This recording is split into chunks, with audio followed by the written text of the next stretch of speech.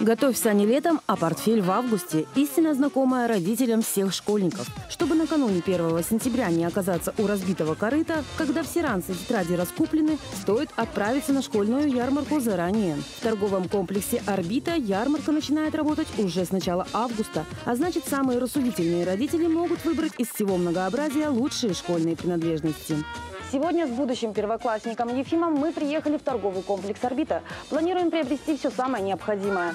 Это ранец, канцелярский набор, обувь. Ну а начнем, конечно, с самого главного. Выберем качественный костюм. Красивый и недорогой.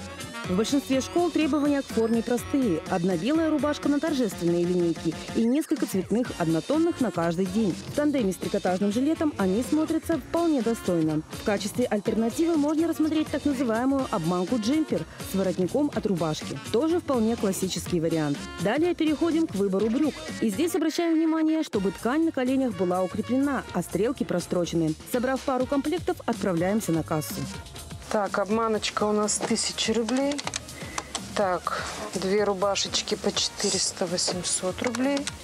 430 обманочка, жилетка и 1200 брючки с вас, 3430 рублей. Пожалуйста. Угу. Ну вот теперь мы полностью экипированы, комплектом одежды и готовы идти за обувью. Правда, Ефим? Да. При выборе обуви уличной, сменной или спортивной первым делом тестируем подошву. Ортопеды рекомендуют выбирать в меру мягкую и хорошо сгибаемую подошву. Лучше, если туфли будут на небольшом широком каблуке высотой не более 2 сантиметров. Далее проверяем ровность швов, а также наличие клея. Его быть не должно. Важный момент – не стоит брать обувь на вырост. Даже взрослым людям свободной обуви некомфортно, а ребенок может еще и получить травму. Подобрав для Ефима качественную модель, снова идем на кассу. 790. Теперь самое время прикупить констовары. Хорошо, что в ТК «Орбита» все находится в одном месте. Поэтому приобрести все необходимое к школе можно легко и без потери времени на транспорт. А вот и список необходимой канцелярии. Две пачки фломастеров, две упаковки цветных и простых карандашей, краски, мелки, кисточки, учебники, дневник, три блокнота, 20 обложек для книг и тетради, ну и далее по списку. Надеемся, что этого набора хватит на весь учебный год.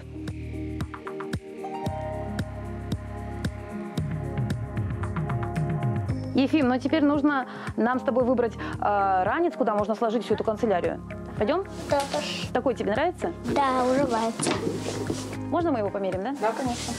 Ранец ученика младших классов обязательно должен быть на жестком каркасе. Он обеспечит поддержку позвоночника, распределит нагрузку максимально равномерно и не даст тетрадкам помяться. Обращаем внимание и на материал. Лучше, если он синтетический и плотный. Такому не страшны ни снег, ни дождь, очистить их от неизбежных пятен гораздо проще. Весить ранец со всем содержимым, кстати, по нормам Санпина, должен не больше 10% от веса самого школьника. Не упираться в затылок и не давить на поясницу. Этот ранец с ярким футбольным принтом отвечает всем этим критериям. Берем однозначно, плюсуем к канцелярскому набору.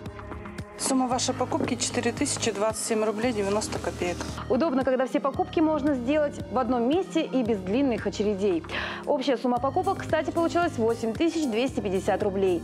Мы подобрали средний оптимальный вариант, чтобы все детали покупки соответствовали российским нормам и ГОСТам. Хотя родители с большими запросами могут выбрать и более дорогостоящие модели. Благо в ТК «Орбита» есть товары для семей с разным бюджетом. Причем товары к школе можно заказать и на сайте торгового комплекса «Орбита» orbita74.ru. Ну а главный совет – подбирайте принадлежности так, чтобы ребенку они были в радость. Тогда и он будет радовать вас хорошими отметками.